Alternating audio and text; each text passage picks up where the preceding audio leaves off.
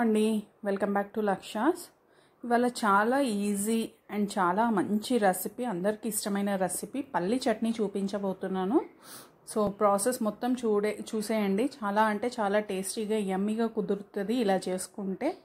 So ముందుగా ఒక cup పల్లీలు తీసుకున్నానండి. ఇవి రోస్ట్ చేసుకుందాము. ఇవి రోస్ట్ చేసుకునే టైంలోనే మనము ఎండుమిర్చి మీరు కా ఎండుమిర్చి కావాలంటే ఎండుమిర్చితో చేసుకోవచ్చు పచ్చిమిర్చితో కావాలంటే పచ్చిమిర్చితో చేసుకోవచ్చు. నేను వచ్చేసి ఇక్కడ ఎండుమిర్చి యాడ్ చేస్తున్నాను. అది కూడా సిక్స్ సెవెన్ ఎండుమిర్చి. సో సిక్స్ సెవెన్ ఎండుమిర్చి ఎందుకంటే మరీ అంత కారం ఉండవు.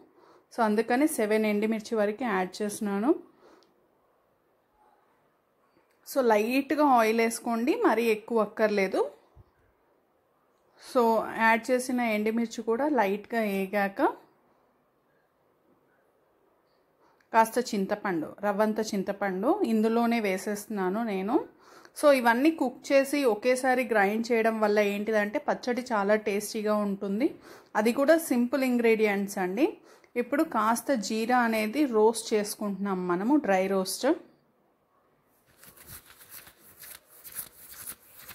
సో లైట్గా ఎగితే ఆల్రెడీ ప్యాన్ హీట్ ఉన్నది కాబట్టి కట్టేసి లైట్గా వేయించుకోండి. సో ఇందులో వచ్చేసి ఒక ఎల్లుల్లిపాయ ఒక పది గబాల వరకు తీసుకున్నాను. సో బాగా చల్లారాక ఇప్పుడు ఇవన్నీ ఫైన్ కోర్స్ పేస్ట్ పట్టుకుందాము లైట్గా సాల్ట్ వేసుకుని.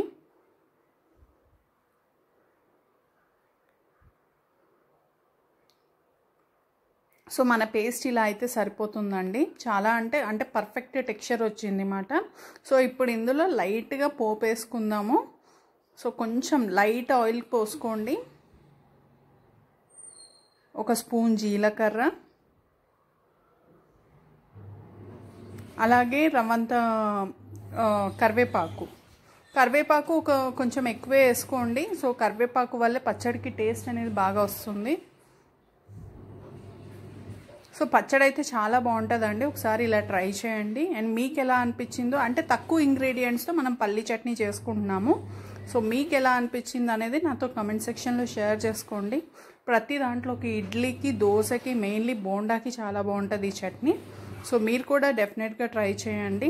సో నేను ఇది తెలిసిన వాళ్ళకి చెప్పట్లేదండి. తెలియకుండా కొత్తగా నేర్చుకునే వాళ్ళకి ఇట్లా సింప్లిఫైడ్ మెథడ్లో రెసిపీస్ అనేది చెప్పడం జరుగుతుంది. సో మీకు నచ్చితే మర్చిపోద్దు. లైక్ చేయండి కమెంట్ కూడా చేయండి. అండ్ ఫస్ట్ టైం ఛానల్ని చూస్తుంటే కనుక సబ్స్క్రైబ్ చేసుకోండి.